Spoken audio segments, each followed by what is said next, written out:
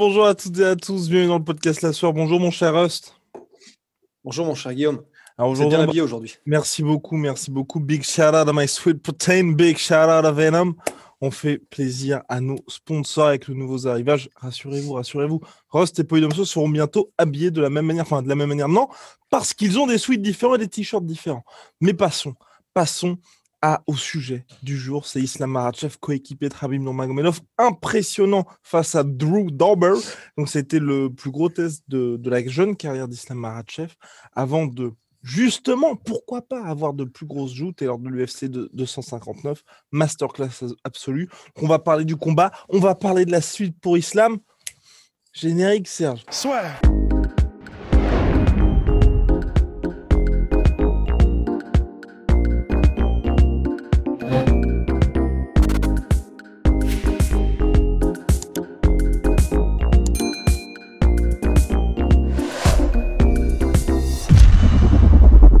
Islam Makhachev s'est imposé face à Drew Dober par soumission, arm triangle choke si je ne m'abuse, au troisième round. Et surtout, sur...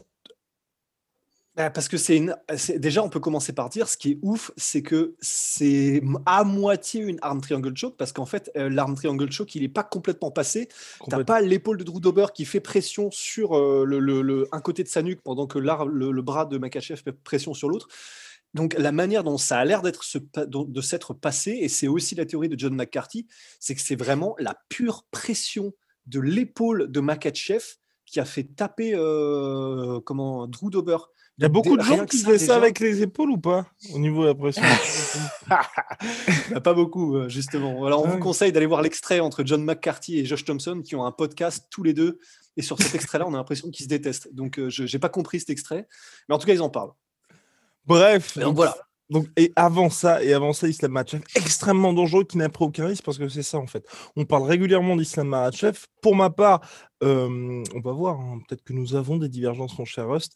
Euh, moi, j'ai jamais été complètement dans le hype train Islam Makhachev, donc faisant partie des gars qui pensent qu'il peut avoir vraiment se frayer un chemin dans cette catégorie euh, lightweight, donc jusqu'au titre, hein, parce que pour moi, clairement, la question c'est va-t-il être champion ou non, parce que j'ai toujours trouvé qu'il prenait un petit peu trop de risques, Islam. Parce que c'est vrai que par rapport à Habib Nurmagomedov, et même quand on regarde les Ousmane et les Oumar, il a de plus grosses, on va dire, certitudes et un plus gros bagage en striking, mais je trouvais qu'il prenait toujours un petit peu trop de risques. Hormis dans son combat contre euh, Tsoukayan, où là, pour le coup, bah, évidemment, c'était plus un, match de grappling qu'un combat de MMA, mais c'est parce que les deux, là, ils nous ont vraiment... D'ailleurs, on en parle à chaque fois, n'hésitez pas à voir ce combat-là.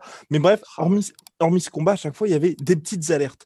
Et là, contre Dober, ce que je trouvais vraiment intéressant, c'est que c'était un combat où, clairement, il n'y avait aucun intérêt à aller debout face à Drew parce que c'est là qu'il allait avoir du, danger et il a pris zéro risque pour offrir un combat absolument magnifique. Il passe à quelques secondes de le soumettre par clé de bras à la fin du premier round. À chaque fois, il l'amène au sol et à chaque fois, il est surtout dangereux au sol et il progresse jusqu'à cette soumission. Donc pour moi, avec ce combat-là, il a vraiment coché toutes les cases qui font que même si c'était Drew tu vois, pour moi, il passe vraiment et que Islam était 14e avant ce combat-là, il passe vraiment pour moi de jeune espoir, on va dire, à j'ai envie de le voir contre un top 6, top 5 mondial directement. Ouais, ouais, pareil pour moi. Parce qu'en fait, c'est vrai que, comme on le dit souvent, il y a, y a, y a, même si tu bats quelqu'un qui n'est pas un nom établi, il y a la manière de le battre. Parce que, à, à quelques extraits. Oh là, à quelques exceptions près, putain, à quelques exceptions près, épilepsie direct, à quelques exceptions près à l'UFC, tout le monde, ils sont là euh, pour une raison simple, c'est que ce sont les meilleurs combattants du monde. Donc euh, il y, a, des niveaux, euh, il y, a, des niveaux partout. Donc même à l'UFC, il y a des niveaux évidemment. Mais si tu y es, c'est quand même que tu fais partie du gratin du gratin. Et Drew Dober, même si c'est pas effectivement quelqu'un qui est de la de l'étoffe de, de, de, des Habib, des Poiriers, etc. C'est quand même quelqu'un qui est très bon. Et, et la manière dont, Mar dont Makhachev l'a cuit, mais ouais. il l'a cuit à l'étouffer. C'est-à-dire que pendant trois rounds, c'est ça en fait. Il a exécuté en gros le Fados Plan, donc le plan de Abdulmanap Nurmagomedov. C'est marrant parce que ça, c'est en train de rentrer dans le folklore du MMA, un peu le Fados Plan euh, d'Abdulmanap, c'est cool. Et donc, il a appliqué ça à la perfection. C'est-à-dire que pas de risque, comme tu l'as dit, il est allé au sol et il l'a juste ruiné en fait. C'est-à-dire qu'il l'a empêché de, de, vivre euh, pendant trois rounds. Et à la fin, euh, ça fait des rounds, honnêtement, c'est vrai que c'est ça pourrait compter comme des 18 parce que c'est vraiment c'est c'est du lessivage quoi, de l'essorage. Et du coup, euh, et, il finit par une soumission. Donc voilà, il y a vraiment, oui, c'est entre guillemets Drew Dober qui n'est pas le top de la catégorie, mais c'est la manière dont il a réussi à faire ça qui fait que c'est pareil pour moi en fait. J'ai envie de le voir. Il était prévu contre Dos Anjos à un moment donné. J'ai envie de le voir contre un énorme nom parce que même si j'ai envie de le voir contre un énorme nom et que là il m'a impressionné aussi, il faut aussi dire euh, c'est vrai que à la différence, par exemple, de Khabib, ben, déjà, il a pris un KO en début de carrière, Marachev, et ça arrive à tout le monde, ou presque. Mais, entre guillemets, déjà, ça écorne un petit peu la, la, mystique que tu aurais pu construire à propos de ton personnage. Quand tu prends un KO, c'est KO en plus, hein, c'est vraiment c'est hardcore dans ton début de carrière à l'UFC. C'est plus difficile après de te construire une aura, parce qu'il y a toujours ce côté, il est, il est, il est vincible, tu vois. Il est, il est, il est, il est, on peut, on peut réussir à le mettre KO, on peut s'en sortir. Euh. Il y a aussi le combat contre Tsariokian, il est, il est extraordinaire, on le dit toujours, le combat contre Tsariokian, mais c'est, il le bat il est, et il le bat. humain, il est humain.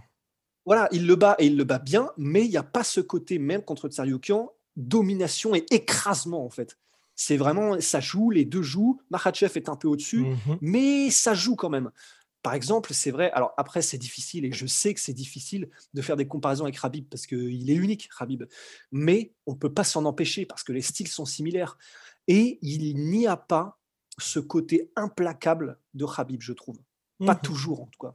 Entièrement d'accord, mon cher entièrement d'accord. Mais c'est vrai que là, avec Habib dans son corner, Habib en tant que coach, on peut voir aussi la différence pour le coup, et je pense que la présence de Rabib n'est pas étrangère à ce changement de style chez Islam, où là, je pense vraiment qu'ils ont. Il y a aussi, c'était. Rabib en avait parlé, Feu, Abdulmanap Magomedov en avait parlé aussi. Le plan, ça a toujours été Rabib fait son run en tant que champion, et quand il part, ça va être au tour d'Islam de prendre la suite. Et là, pour le coup, c'est vrai que je, moi, j'ai trouvé vraiment, c'est pour ça, ce changement d'attitude de. Avant, je me permettais, tu vois, de jouer un petit peu là maintenant. Non, non, clairement pas. Là, je viens, je vais te faire une petite feinte, quelques petites feintes. La première minute, on est debout et ensuite, je t'amène au sol et c'est terminé. C'est terminé, tu te relèves même plus et le combat va se dérouler de cette manière-là. Et là, c'est vrai aussi, on en parlait aussi avant, avec Rabib, c'est un petit peu compliqué d'exister parce que c'est un, style qui, qui est difficile à marketer et qui ne va être que pour un seul marché finalement. Et il y avait déjà la, la place qui était prise par Rabib. Là, comme il y a un vide qui est énorme, Islam, il peut vraiment prendre la suite de Habib aussi de ce côté-là. Et donc, pour le coup, je pense que l'UFC va aussi se dire bon, bah, ok, on n'a pas perdu suffisamment de temps, mais on y a été tranquillement, pas à pas, avec Islam, parce qu'on en parlait avec Rust aussi. Hein.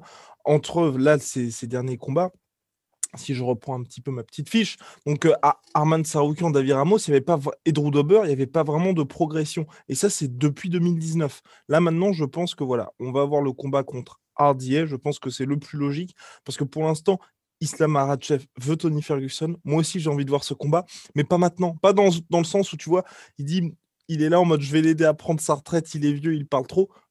De tout ce qu'il dit, effectivement, ça peut se vendre en tant que combat, mais aujourd'hui, Tony Ferguson, c'est deux défaites consécutives, euh, consécutives. Ça me ferait mal de l'avoir maintenant contre Islam. J'ai envie que Tony Ferguson gagne au moins une fois, et là, tu fais ce combat-là. Alors que Hardy, je pense qu'aujourd'hui, ça aurait du sens. En plus, les deux étaient censés s'affronter l'année dernière.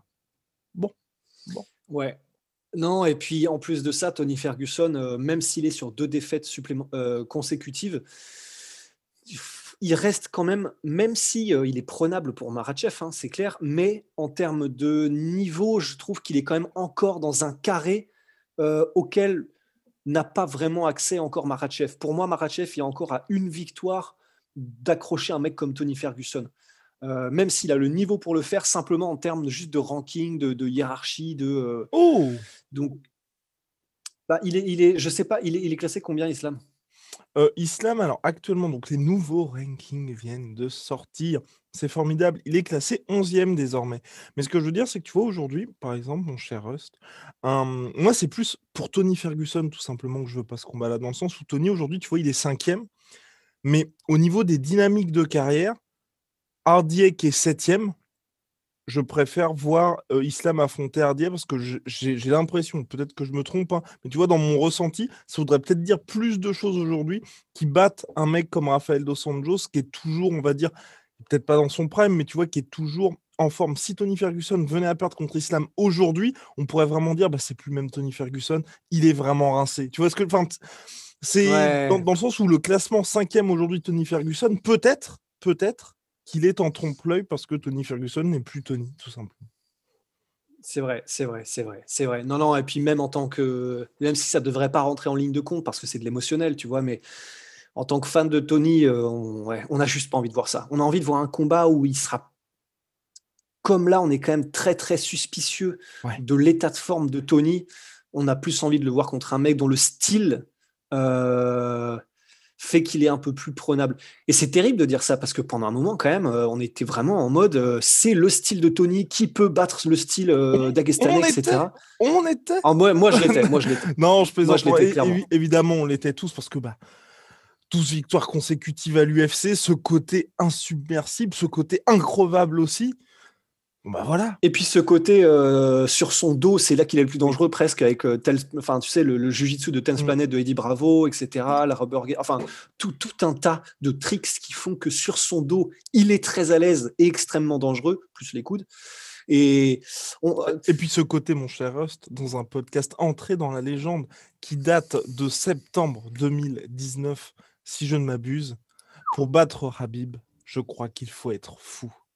Rusty Business. Oui. Du, du Rust dans le texte. non, mais c'est vrai, je, crois toujours. Et il est peut-être fou, mais il est fatigué maintenant, je crois, euh, Tony. Et c'est ça qui me fait peur, quoi. Oh Tony, oh little Tony. En tout cas, on verra, on verra pour la suite, mais ça va être un combat très très chaud pour lui, enfin le, prochain, parce qu'il a vraiment ce côté. Euh, Do or pour notre cher Tony Ferguson. Et pour Islam Makhachev, donc revenons à nos moutons, 11e du classement. Il a progressé de deux places. Désormais, devant lui, il y a Paul Felder. Benail Darius, ça pourrait être intéressant. Contre ah, même, très bien ça. Même si, bah, pour le coup, tu vois, je pense que c'est pas.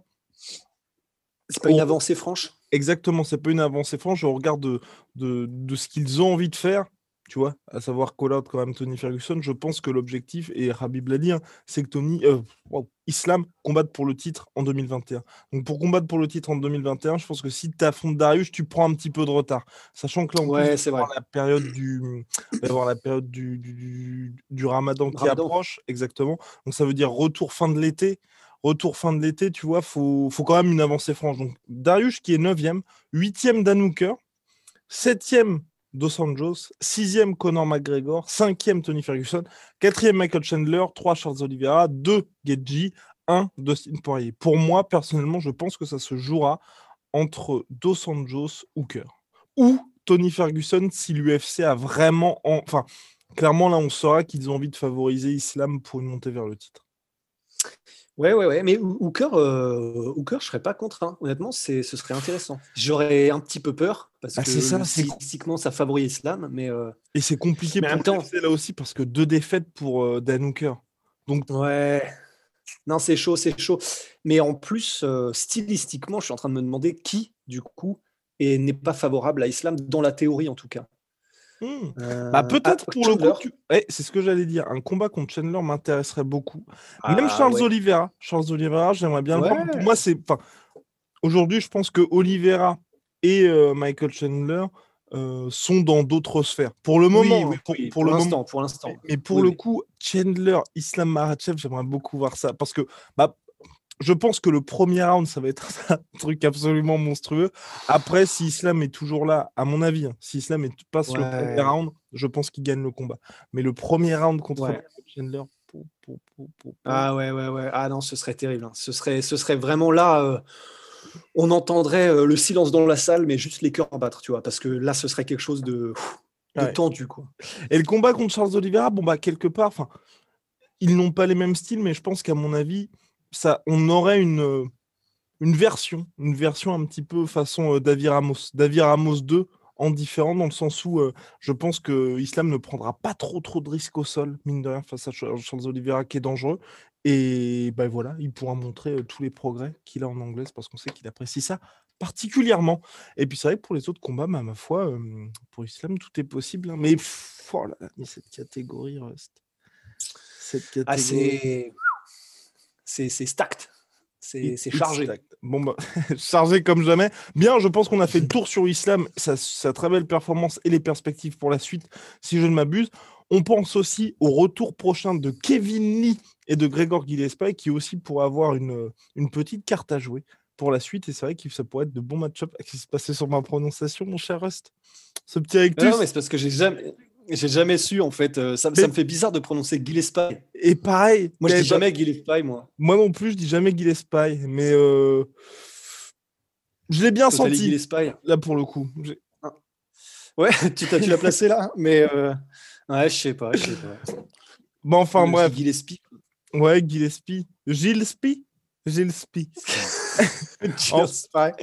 Spy. Enfin bref, Grégor, en tout cas, qui va faire son retour après son terrible chaos subi face à Kevin qui était vu lui aussi comme potentiel champion invaincu en carrière jusqu'à ce chaos terrible. En tout cas, il y a du monde chez Lightweight, toujours plus du monde, de monde. Et pour Islam, bah là, pour le toujours plus du monde. toujours plus de monde. Et, pour finir, moi, c'est le dernier point vraiment sur Islam Maratchev. Et j'ai à mon avis que partage Russ Bay, je, je, suis désolé. C'est, j'ai vraiment envie, tu vois, de le voir là actif. J'ai vraiment envie de le voir actif parce que son espèce de rythme de un combat par an, deux combats, mais beaucoup trop espacés. Plus, tu sais, l'éternel est, est, est, wow, 1, 2, 3, 4, 1, 2, 3, 4, 1, 2, 3, 4. L'éternelle étiquette d'espoir de prospect de l'UFC, moi, ça me fatigue un tout petit peu. Là, j'ai vraiment envie qu'on ouais. appuie sur le bouton accélérateur. On se souvient l'année dernière, quand il y avait le combat contre Hardy, on était enfin pour Islam, un vrai test. Il va y avoir une progression je crois qu'il a eu le. C'est le, Covid ou un staphylo. Je sais plus exactement ce qu'il a. il n'a pas pu voyager à cause du Covid, je crois. Ouais. Mais je ne sais pas s'il l'avait, mais à cause de ça. Oh non, non, il était aux États-Unis. Il était, il, était, il était parti aux États-Unis parce qu'il il avait accompagné Habib à Abu Dhabi pour le combat de Habib contre Geji. Ensuite, il, il mmh. avait pris l'avion pour les États-Unis, mais je ne sais plus ce qu'il a eu. Enfin bref, Toujours est-il que Islam n'a pas pu. Donc, bref, là, on veut vraiment qu'il accélère et pour savoir en fait, tout simplement de quel beau il est fait, parce que c'est le plus frustrant avec les combattants, c'est quelque part quand les gars, comme Tony Ferguson, si vous voulez, quand les grosses échéances arrivent, leur prime est déjà passé. Ouais, non, c'est ça, c'est ça. C'est vraiment, ce serait le pire. Donc là, euh, trois combats en trois ans, c'est vraiment, vraiment pas possible. Donc là, faut, faut, faut, y aller, quoi. C'est parti, mon cher Rust. Big shout out à My Sweet Protein. Moins 40% sur tous mes protéines avec le code la sueur et moins 10% sur tout Venom avec le code la sueur.